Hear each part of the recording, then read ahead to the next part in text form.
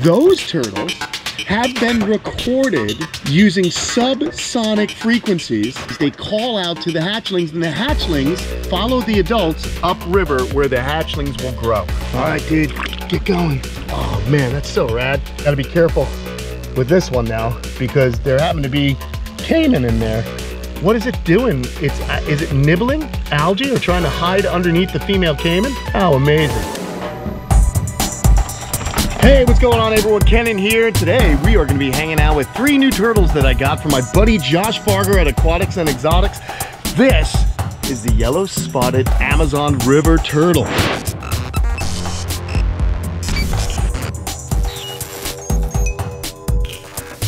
Or Podocnemis unifilis. All right guys, so I'm really excited. Um, I went in to visit with my buddy Josh today and uh, I noticed he had these larger adult males just kind of hanging out in the tank and he actually needed room uh, for some more animals so he gifted these to me. Isn't that really cool? Um, if he wants them back he can have them back whenever but uh, right now this is really cool. I'm uh, gonna take care of them because this is a species I've worked with in the past. And in fact I gave Fred a huge colony of these guys. They have become adults. Right now Brooke's looking after them. Uh, next week I'm actually gonna bring one of the males over so I can swap it out for a female. So we'll get a female or two in this pond. And uh, we're also gonna check and see uh, what the sex ratios are uh, at Fred's house. So we're gonna go visit there soon. But here's what's gonna happen. I'm gonna take these guys and I'm gonna put one up here in this enclosure. And then I'm gonna take the other two and put them in the other enclosure at Caiman Creek. Uh, these guys are found in South America. They are found uh, with Caiman. They are really beautiful species. They start out very, very small, of course. Uh, they call them yellow spotted because when they're young, their carapace has the yellow spots, but the only thing that keeps the yellow is that beautiful head. Now, the name Podocnemis uh, is a genera name. It's a genus name. And in that genus, there are a few different turtles. There's uh, Podocnemis erythrocephala, which is a red-headed turtle. Uh, looks pretty much the same as this, but it's got a beautiful red head. And then there's Podocnemis expansa. And the funny thing is, is about the expansa, they're a huge riverine turtle found in the Amazon, all throughout South America river systems. Um, very large uh, turtle, which the Latin name expansa should uh, give it away. But uh, basically, guys, those turtles have been recorded using subsonic frequencies, okay? Which means very low frequencies. And what they do is they lay their eggs, then they return to the river and they wait until the eggs hatch. And because they use those frequencies, they call out to the hatchlings and the hatchlings find their way towards the adults and they follow the adults upriver where the hatchlings will grow. Very, very cool stuff. These guys are powerful swimmers. They're incredible baskers, so this log's gonna get used here. Let's go ahead and let this guy go right now. Boop, right down, no problem. These guys are gonna be so excited to be living here at the camp. I am really thrilled. It is amazing. Um, I really love the species. These guys are an omnivore. They're gonna eat plant matter. They're gonna eat some uh, animal matter, just like most other, um, you know, freshwater turtles. Uh, really, really cool species there. Look at it already exploring around.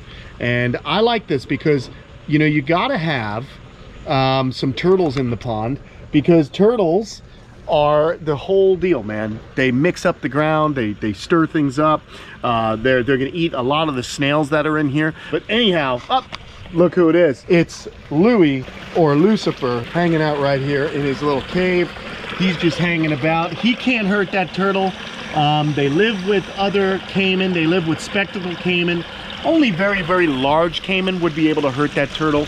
Uh, or if it was a baby turtle, then that would be a problem. But we should have absolutely no issues with the caiman and those uh, turtles. So I'm pretty excited about that.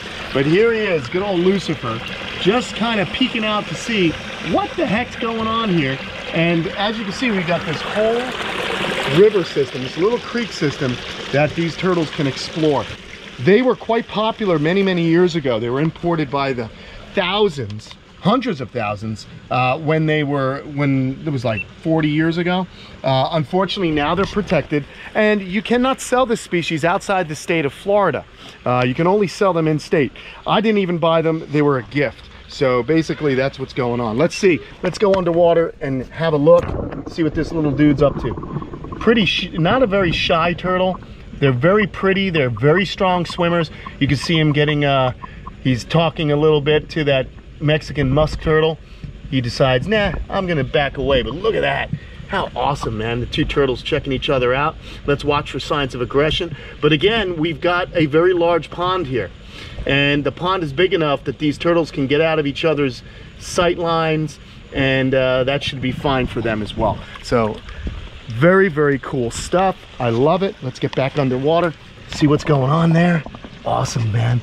I love it. Oh, look who's coming to visit the Mexican musk turtle's coming to visit me right now, but we are all about that beautiful yellow spotted Amazon river turtle. So cool, huh? I love it. I love it. So he's gonna explore this pond. Let's go ahead and get the other guys moved over and into their new pond, or creek rather. Uh, why I like this is it is kind of like a little river system. So uh, once again, Aquascape, man, they just always outdo themselves when it comes to this stuff. So let's just walk right over here and we'll put the other two in this other pond and see how they interact with the Caiman here. So awesome, man. There's always something fun and I'm so happy that I can provide a nice home for these really beautiful turtles. Definitely a favorite of mine. Let's put one up in this pool and we'll put the other in that pool. All right, let's see. This is pretty. What a beauty, huh? All right, dude, get going. Oh man, that's so rad. Awesome, huh? So they've got a cave they can hide out in, plenty of algae to eat, plenty of snails, little fish, little tadpoles.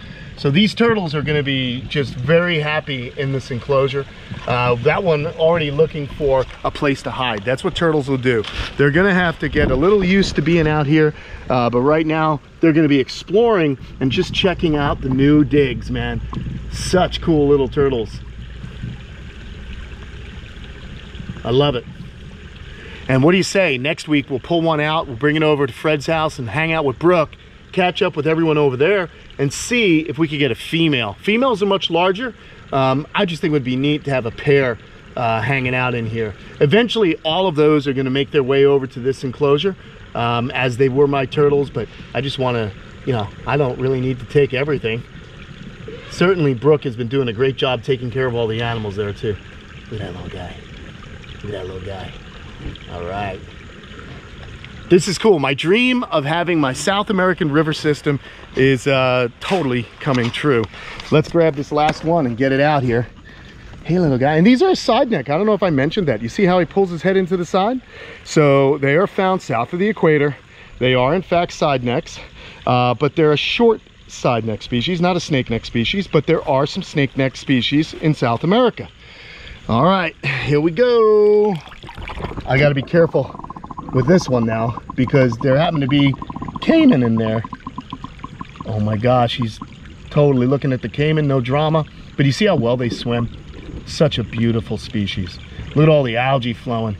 We're gonna get some plecos in here, some algae eaters, and uh, I think it'll be a really good addition, cut down on some of this algae. I mentioned it not long ago that the reason we have so much algae is water temperatures have risen, being that it's now, um, you know, that it's now summer.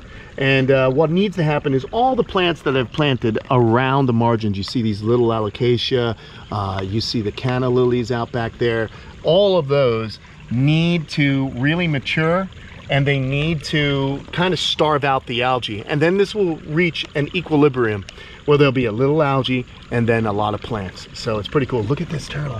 What is that turtle doing? What is it doing? It's uh, Is it nibbling? algae or trying to hide underneath the female caiman. How amazing. That is awesome. What a cool species and what an ability for us to kind of keep them here, keep them happy and keep them healthy in this beautiful enclosure. I mean, come on. They'll even eat some of the mango that fall from the tree. And that tree is gonna take off in the next few years now that it's got a nice water source. And uh, boy, is that gonna be something else. But meanwhile, this little one is just hanging out next to that caiman. What is it doing? It's sniffing the caiman like, hey, what are you? Wild. Up, oh, she's moving a little. So rad. It's so awesome to see these guys explore and check out the new habitat.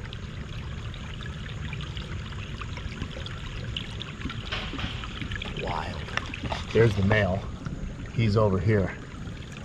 That is the big boy. There's the little lady.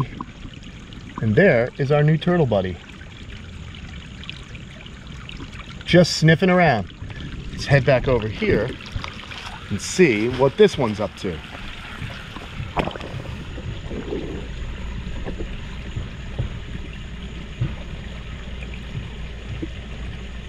It looks like they're pretty happy in these new habitats.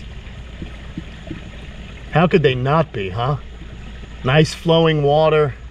Hey, this guy looks like he's got had some algae hanging off his mouth, but I guess not. Maybe he just went through it. Look at that. And they'll be able to wander on land. They'll be able to wander down these waterfalls. They're not very drastic waterfalls, so it's not gonna hurt them. Um, this is just, this is gonna be my favorite enclosure, I can tell. I can't wait to get more fish in here too. We're gonna get some tetras and plecos and it'll be a proper South American river system. Oh my gosh, it's so cool seeing them uh, just exploring everything. What an amazing opportunity.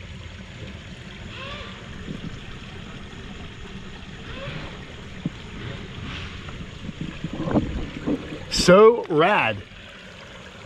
This other guy's just hanging out right by those caiman.